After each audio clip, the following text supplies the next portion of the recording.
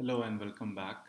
So in this video I want to show you how you can use the gravity and the layout gravity attributes if you are using a linear layout. So if you remember in the last uh, video you saw like how to use a linear layout to position the elements in the layout on the app screen. So there are two interesting attributes which are very helpful um, when you are trying to align the UI elements like a button, a text field, edit text, or whatever you are using. So the first of those which I want to show is the gravity. Now what gravity does is it places the content within your view. Like say you have some text within your button.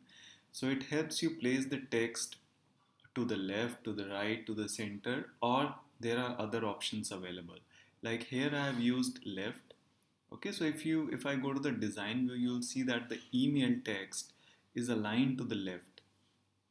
Now if I want it to be center then either I can specify center or I can get rid of this attribute. So either of those changes will okay so move it to the center of the button. So that's the first point.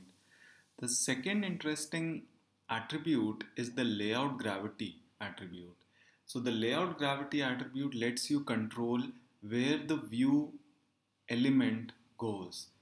So if, if you want your button to align to the left, to the center or to the right, you need to use the layout gravity attribute.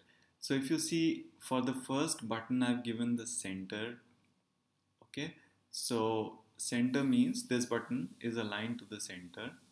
For the second one we have used we haven't given any preference. So by default it aligns to the left okay? And third one I have specified right. So it goes to the right. So if I make a change and I say I make it left okay? So you will see the change. So it moves to the left.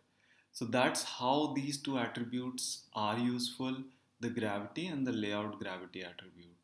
I hope you understood the basic concept and uh, I think you should go ahead and try it out in your own layout and see how it works because these are very useful attributes to be aware of. So until next time, take care. See you. Bye.